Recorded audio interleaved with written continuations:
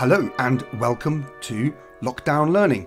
My name's Paul Holland, and this session is all about the gerundive and how to use it with ad to make purpose clauses. It's a fairly short video. There's not a huge amount to explain with the gerundives.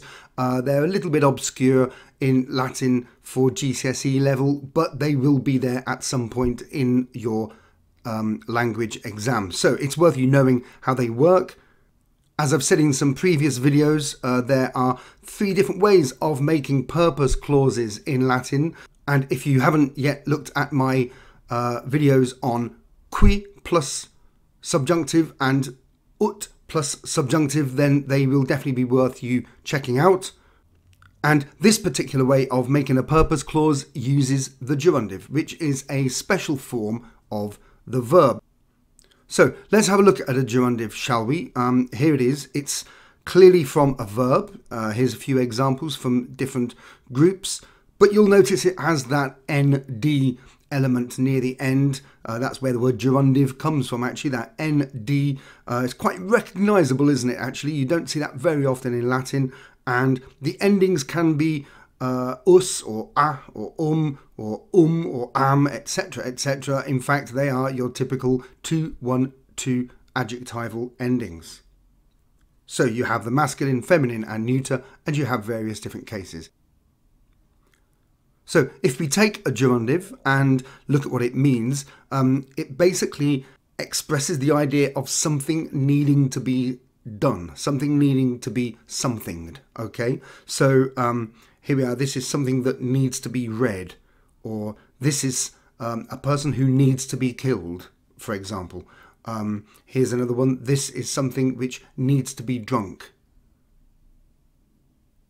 Perhaps the most famous example of this from history is the story of Cato the Elder, the the senator who uh, was determined after the two Punic wars against Carthage uh, that the city still had to be destroyed at some point. This was Rome's great enemy on the coast of North Africa, and he uh, finished every single speech with Delenda est Carthago, which, as you can see, means Carthage is needing to be destroyed. It's a feminine word, Carthage, so delenda.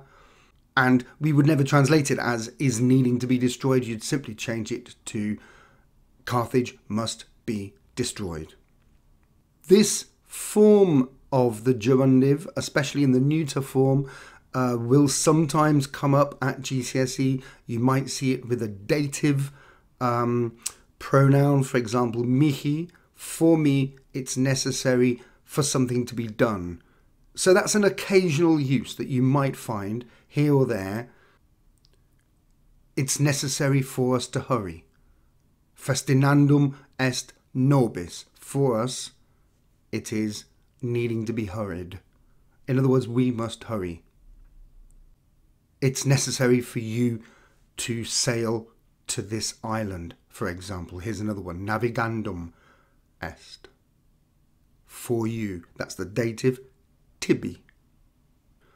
But the most common form that you will see it in at GCSE in your language paper will be with the word ad in front of it and therefore with the actual gerundive in the accusative.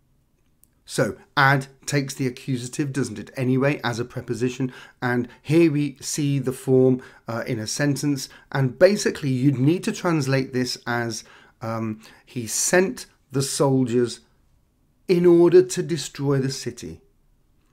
Now, yes, there are other ways to say in order to destroy, and we've looked at those in those other videos, but you will have at some point in your GCSE this form here. Ad urbem, accusative, delendam. He sent slaves to kill the king or he sent slaves to kill the kings in the plural. That's the accusative plural. I went to the house in order to greet the girl. Ad puellam salutandam. And as we said right at the beginning, the gerundive has both a passive sense and a sense of obligation. Well, don't translate the passive when you've got these kind of sentences. Uh, just make it active, but don't forget that there is also that sense of obligation. So it is a kind of purpose clause in order to do something. I hope that explains how the gerundive works in this form.